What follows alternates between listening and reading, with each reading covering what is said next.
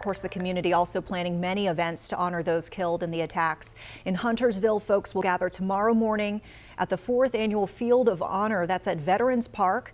There will also be a memorial ceremony at Romare Bearden Park in Uptown. That's tomorrow morning. And you can see here some pictures. This is a look at the flags being placed there today. Each flag coming with a photo card sharing more about a life lost that day. There will be bell tolls at the times of each attack and a replica of the Twin Towers for people to sign and share their thoughts. And then a steel beam from the World Trade Center will also be on display.